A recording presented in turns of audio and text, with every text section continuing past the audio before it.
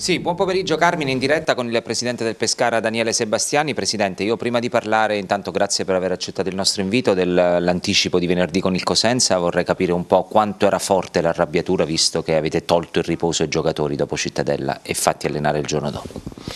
Ma credo che sia, mh, sia la, giusta la decisione del mister perché tra le altre cose lui era a casa quindi eh, poteva tranquillamente starsene su, invece nella realtà ha deciso lui, la società non c'entra nulla, ha deciso lui di, di, tornare tutti quanti in pullman a Pescara e di allenarsi il giorno dopo, quindi credo che anche i ragazzi abbiano apprezzato eh, questo gesto del mister perché è chiaro che eh, stando lì a casa sua e tornando indietro col pullman evidentemente eh, aveva voglia di, di, rimettersi subito a lavorare e credo che sia un gesto apprezzabile. Facciamo un appello al pubblico per eh, l'anticipo di, di venerdì sera con il Cosenza? Ma sì, io mi auguro che venerdì sera ci sia uno stadio molto più pieno perché questi ragazzi hanno bisogno, c'è una partita importante, una partita che eh, vincendola ci rimetterebbe un'altra volta nelle prime posizioni e come si sta vedendo giornalmente questo campionato è, è molto molto equilibrato soprattutto nelle zone alte e quindi ci possiamo giocare tutto quello che, che è possibile fare da qui alla fine. Senza Mancuso toccherà del sole dal primo minuto, so che lei ci tiene molto a questo giocatore, potrebbe essere una grossa chance.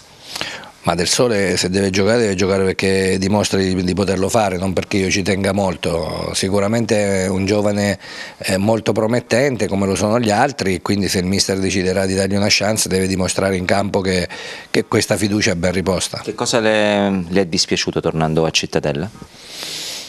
Ma mi è dispiaciuto che nella prima mezz'ora credo che abbiamo fatto una discreta partita, non, non, abbiamo sicuramente demeritato, poi abbiamo preso quel secondo gol che era assolutamente irregolare e poi ci siamo un po' sfaldati e non abbiamo capito più nulla.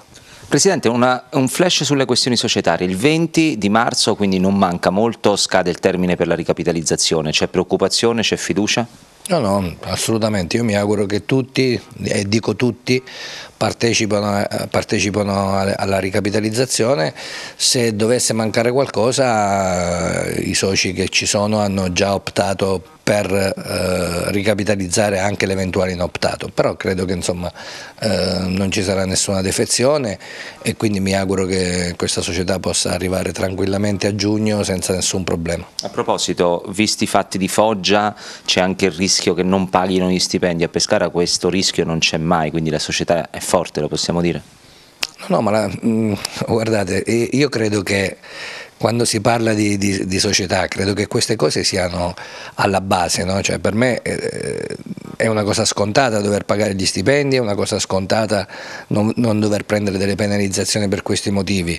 Eh, tutto il resto è importante e lavorare, quello che è importante è lavorare sui progetti, cioè sul fatto di, di rendere la società sempre più sostenibile perché purtroppo non è che a Foggia il Presidente del Foggia si diverta a non pagare gli stipendi, evidentemente ci sono stati degli errori, evidentemente in questo momento le aziende non sono più co così floride come le erano tanti anni fa e soprattutto secondo me in Serie B, soprattutto in questa categoria, da parte nostra bisogna capire che al primo posto c'è la sostenibilità, perché tanto prima o poi le problematiche, se tu giochi comunque sempre a rosso e nero, le problematiche arrivano. E purtroppo noi partiamo sempre in questo campionato con la, eh, con la, la, la, possibilità, con la visione, con l'aspettativa la, della Serie A. Poi in Serie A ce ne vanno tre, e le altre 16 quest'anno o 17 il prossimo anno rimangono al palo, anzi quattro di queste addirittura rischiano di andare in Serie C. Quindi